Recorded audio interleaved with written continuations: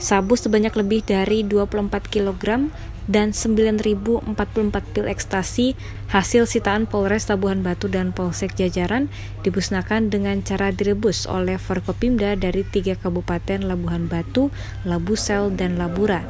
Salah satunya Kasipidum Hasudungan Parlin Sidauruk yang mewakili Kajari Labuhan Batu di Aula Serbaguna Mapolres setempat, Jalan MH Tamrin Rantau Prapat Labuhan Batu, Jumat siang.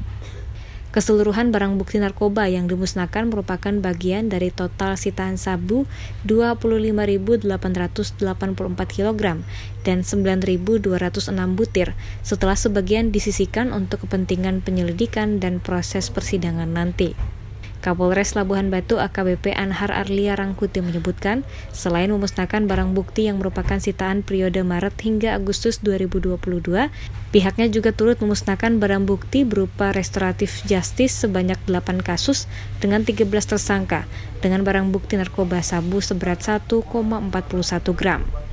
Bupati Labuhan Batu Selatan Edi Min yang mewakili Forkopimda memberikan apresiasi atas pengungkapan kasus narkoba oleh Polres Labuhan Batu dan jajarannya.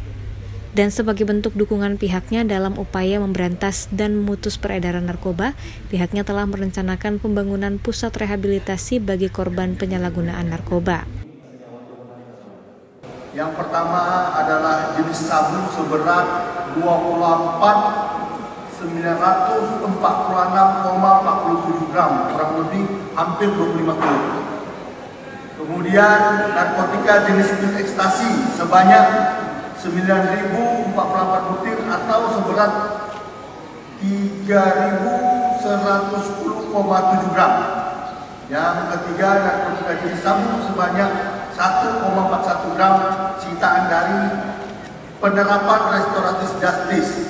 Jadi kasus-kasus narkotika yang kita lakukan melalui RJ, BB-nya dikumpulkan sehingga terkumpul 1,41 betul? 1,4. Tanggapannya saya sebagai Bupati Labuan Selatan ya berharap ya ini yang namanya narkoba ini kan harus dibasmi. Jadi kalau bisa para pelakunya itu dihukum dengan seberat-beratnya. Jangan dikasih ampun lagi kalau bisa dan kita atas nama pemerintah Selatan dan ini ada Pak Sekda dari Labura Siap. dan ini Pak Asisten dari Labuan Batu dan ada Wakil Ketua DPR ya kami mengucapkan terima kasih yang sebesar-besarnya kepada pihak kepolisian Resor Labuan Batu Selatan terutama Pak Kapolres dan Pak uh, Kasat Narkoba atas pengungkapan narkoba yang terbesar di tahun 2022 ini.